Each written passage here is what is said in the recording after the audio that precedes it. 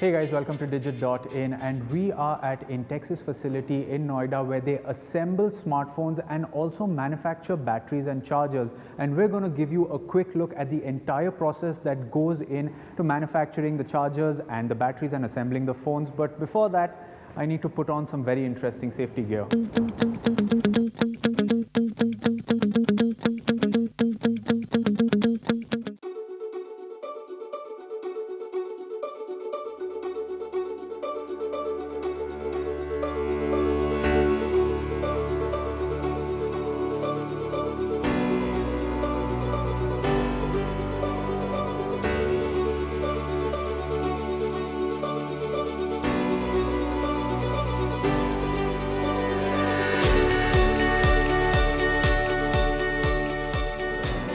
Yes, like I said, we are at the Intex factory here in Noida and I have with me Rahul who's going to explain the process of a smartphone assembly. So Rahul, tell us exactly what is happening here, what is started. See, basically, this is the PCB, which we are getting from China in assembled form. Okay. All the small components, the basic electronic components are already assembled in this PCB form. Okay. We are only assembling uh, big parts in this PCB, like so what, mic, what is receiver. included in this PCB? What are these slots that we can there are see? basic PCBs, uh, basic ICs, Okay. all the components and chips which are already included in this. Okay. So, like this is the earphone jack, some SIM card slots, SD card slots. Okay. These are all are included uh, in this. Okay. And these come straight from China. Yeah, these come straight from the China. We are only assembling big parts. Okay. Big parts like uh, I said, the camera, mic. Okay. Okay. Okay. So along with this, Hmm. this is the touch panel and LCD. This is also coming assembled from from China. Okay. Uh, the operators, basically, the first step, it uh, the operator checks all the function whether it is working or not. It is in working condition. The touch panel, the LCD liquid crystal display, hmm. is it working or not? Hmm. Uh, after checking the complete uh, assembled part, it is hmm. feeded on the line. Okay. Okay. Okay. So then after this, it is put together out here. It is assembled. Yeah, like some PCBs basic components, like I said, vibrator and camera are soldered here. Okay. And some uh, ESD components, electrostatic components, and electrostatic Mylars are also pasted in uh, this PCB as well as in this uh, touch panel. Okay. Okay. So there are basic, uh, basically various functions which are already communicated to all the operators that you have to do this particular step uh, when manufacturing this uh, set. Okay. Okay. And how much time does it take uh, for one smartphone to go through this line? Well, basically it depends on the model.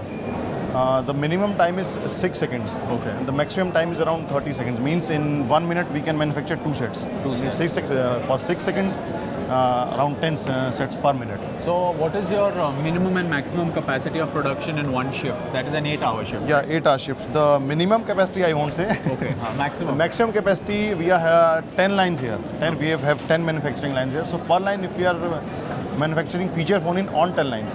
So 3000 is our target. So it means in 3000 into 10, 30,000 sets we can manufacture in a single shift. in a single shift. So if we are working in a double shift operations, Okay. then in single day we can manufacture 60,000 phones. 60,000. Yeah. And also when all these components are being assembled now, we can also see that they are being checked by these people. Also they have some information on the screen. So can you tell us what they're seeing out here? See, this is our IPS system, which is called uh, Intex Production System. Okay. To check how many sets are flowing in the conveyor line and how many sets are assembled. Okay. Uh, we have installed this IPS in our conveyor. this is uh, installed in all our conveyor lines. Okay. So basically there are five steps in this IPS. The first steps is which I already uh, told you is the input step. The operator uh, pastes uh, this barcode label on the PCB and then scans it. So it means this particular PCB has been input in our system. Then this the second stage is the assembly stage. Okay. It means that the this PCB is assembled in this uh, touch panel. Okay. So after the whole assembly, the testing is gone. Okay. Testing is done. So is this a testing process that's happening? Yeah, this is our automatic testing machine which uh, tests all the basic function as well as advanced function of the PCB and set. Okay. So this includes your charging your headphone jack. Yeah, everything. phone Everything which the operator, oh, no, operator with the customer does. Let us Okay. say. okay. So all this is checked mechanically, not by a person. So there's a machine that does it. No, uh, there are a lot of functions which are checked mechanically and lot of functions also checked uh, manually. Okay, okay, okay. Okay. So out here, like we can see, it's manually check. He's manually checking the display, switching on Camera, the display, uh, LCD testing, and uh, all the other functions. Okay. Okay. This, like this operator is testing the touch panel. Okay.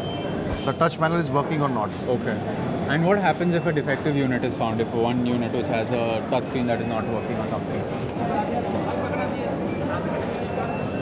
In So case a defective, like the, the operators mentioned, touch fail. Huh. It means the touch is not working in this particular set. Okay. So this set is sent directly to the repair department. Okay. Uh, this barcode label is uh, scanned and on the line and then it is sent to the repair department where they analyze it and then repair it and then again throw it on the line. Okay. Auto This is our machine. automatic screw machines. Okay. So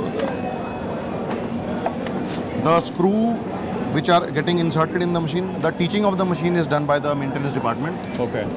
and then the machine does all the screwing automatically. No need to done because it is a very time consuming process. Yes. Yes. Yes. Along plus if a uh, operator is not working good then there is a possibility of dent yeah. because the Also screw, being loose. needs needs to be uh, inserted in this particular location. Okay. Okay. So this is the ma- automatic machine. There is no possibility of dent as well as it is very. Uh, it does not take uh, much time. Okay. Six to seven seconds in a single screw. Plus, if the screw quantity is very high, Huh. then we need two machines. Okay. Two machines and two ports in each machine. Okay. So essentially, almost four uh, phones are getting screwed at the same time. At the same time. Yeah. So at this particular step, our phone is uh, not ready to be sent in the market because every phone has a IMEI number. Okay. Like our fingerprints, every single phone has a unique IMEI number. Here we are doing RF testing in the machine, the radio frequency testing. Mm. Basically, the basic function of a phone is to get signals. Mm. And if the phone is not getting signals, the customer won't be able to use it. Okay. Okay. So, uh, whether the set is getting signals, like the antenna, जो बाहर होता है, हाँ. we have manufactured in this is called BTS, Okay. basic transducer system. So basically it is checking all the radio frequency system, all the frequency DCS 1800 and CDMA functions. This is uh, okay in the set or not. Okay. And then the machine itself tells you whether everything is working like yeah, it is over th- there. these are the various features, various test, uh, testing parameters which needs to be checked. Like you can say this is the low value, highest value, Ah. and the value which is coming during the testing of the set. Okay. Okay.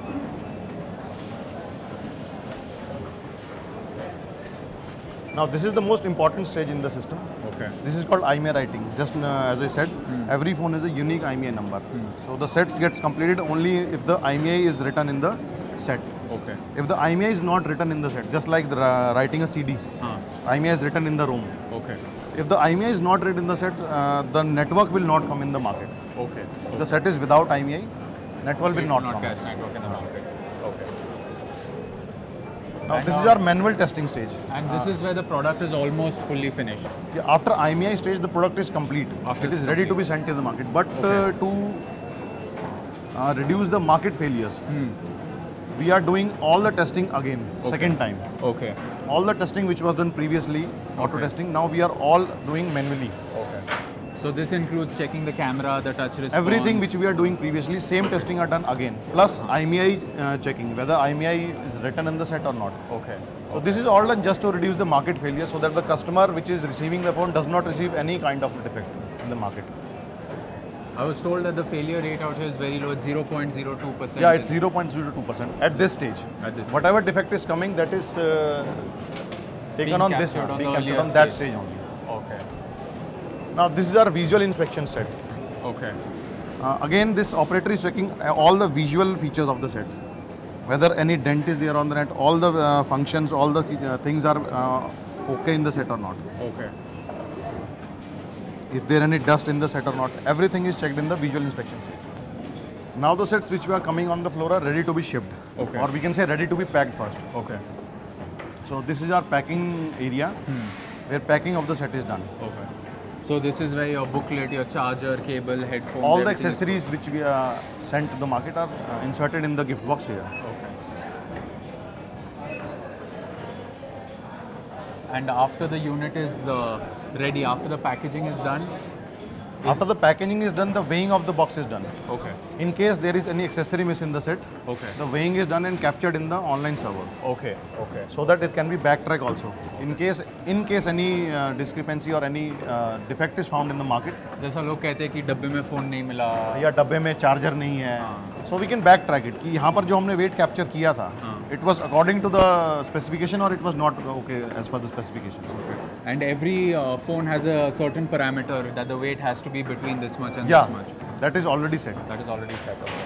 And uh, once it's packaged, then this is what a final product looks like. This is what it looks After like after applying all the hologram seal, the hologram seal is applied on the box so that it doesn't get uh, any problem in the market. Okay. And this is actually one of the newer phones that Intex has launched that we've seen packaged. Yeah, this right? is the 4G Aqua phone. Amaze Plus, which is We have just entered in the 4G market also. yes. This Uh, is your initially- first 4G phone. No, this is not the first 4G phone. Okay. All other 4G, but this is one of the 4G phones which we are manufacturing here. Okay. Okay. Perfect. After the phones are uh, packaged into the individual boxes, they are put into bigger packets over there, right? so what happens over here? I'll show you the thing also. So uh, this is our shrink wrap machine actually. The gift box is shrink wrapped here, Okay. and this is done just to prevent the set from the moisture. Okay. Like during transportation, rain can occur and the device can get damaged. So you So we are- in the plastic shell. So we are shrink wrapping all the gift boxes so that it doesn't catch any moisture in the during transportation or during uh, which we, when they are getting sent to the market. Okay, okay, okay. And once it is finally sealed, then it is put into a set of boxes out here. Once it is finally sealed, it is uh, packed into the master carton. Every gift box has a unique master carton. Uh, the model name as well as the weight of the master carton is also, gross weight of the master carton is also mentioned in the master carton. Okay. So there is less chance that the uh, final weight can be vary from the original weight. Okay. And they're putting stickers also on all the things. So what happens with that? Uh, the IMEI numbers are getting printed and pasted on the of all the phones that are in the box. yeah, of all the phones which are inside the master box, so that Okay. it can be tracked in the market also. Okay. And and they're being weighed also once again out here. Once again, it is weight, and the uh, weight of the master box is also written in this Okay. master carton. Okay. Okay. So all this is essentially done to ensure that the weight is the same, the phones are correct, the correctly uh, put in all the the box, accessories are in the, also in the it. yeah. Okay. So all of Intex's phones are uh, assembled in these units, and I was also told that you have manufacture your own batteries and uh, chargers manufacture uh, charger and batteries also manufactured. and batteries also. So is there any other process in the assembly that we need to see? Yeah, one more process also. After shrink wrapping the gift box, the master box is also shrink wrapped. Okay. Uh, again to prevent it from the moisture and water. Like we can see out here, all the Start master boxes are also wrapped in plastic, essentially to prevent damages that can happen Mm-hmm. during transportation. Okay, so this is the final step, and after this, it is dispatched to the various retailers. Once all this is done, the pallet of the uh, master carton are made and then sent to the logistics department so that they can, They can uh, ship ship ship to the market. and this is the final stage of the production. Yeah, this is the final stage of the production. Well, there you have it, guys. You saw exactly how Intex assembles their smartphones here in their Noida facility, but it doesn't only assemble parts out here. Intex actually manufactures their own batteries and chargers, and we're going to get you a quick look at that process.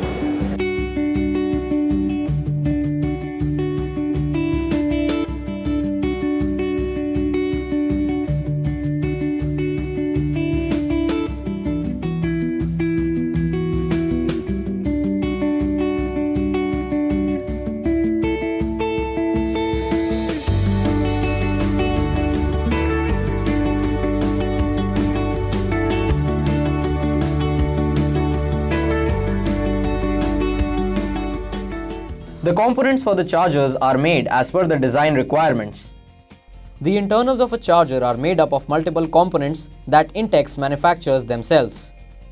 After the components are made, they are put on the board in a machine. The specifications of the charger are fed into the machine and it puts the components on the board. The diodes, resistors and other components are put on the board. There are some components that are placed mechanically and some that are placed manually. The charger board goes through a manual inspection to check if all the parts are in place. As you can see, the ceramic capacitors are being cut as per the specifications of the charger. The smaller capacitor is used for noise reduction in the charger. This essentially ensures that the charger is quiet when it charges your phone. As you can see, all these components are placed in the center and are sorted in the machines. The soldering and final assembly is done and checked by hand before the electronics are placed in the plastic encasing. Any defects in the charger can be caught at this stage. the error rate is 0.02%. From raw materials to final assembly, everything is done in India. After the chargers are encased, they are tested in real-world scenarios. The charger is kept on full load condition to see how will it perform in the hands of the consumer. Any failure can be caught at this stage. After the chargers have been tested, they are packaged. The packaged chargers are then placed in the box along with the smartphone. All international standards are followed during the production of the charger. Each line for the making chargers can make 1 lakh charges per day. The lithium-ion batteries that have been purchased from vendors undergo a number of rigorous test processes before they are made available to the assembly line for production. The battery thermal abuse test checks the varying temperatures in which the battery can survive including excess heat. The cell capacity test helps determine the number of cycles the battery can go through. The crushed nail penetration test applies up to 13,000 nanopressures on a single battery. To pass this test, the battery needs to be intact. There must be no leaks or fumes emerging from it. The tests are video recorded to analyze them further. The video is also recorded in slow motion to assess every detail. The batteries also undergo a short circuit test. The test for the batteries is conducted behind very strong shatterproof glass. The batteries are also kept under low pressure for 6 hours to test them. For example, when you are traveling in an airplane, the pressure drops. This pressure test ensures that they are ready for any environment. The batteries are also overcharged in the test process. The mAh value of the battery is predefined. The batteries are built and concealed in a way to manage excess heat. In the initial stage, the power supply direction of the batteries is defined. The batteries are also concealed to ensure that they are leak proof. But this is not the end. The battery still needs to go through some testing before it can be shipped to the user. Stickers are also put on the battery in this stage to add the element of branding on them. This whole process is automated thanks to the machines. The voltage range, current and resistance of the batteries is also tested. After the batteries are tested and branded, they are packaged and readied for shipment. The process of testing and manufacturing the batteries goes through rigorous processes to ensure minimal rate of error.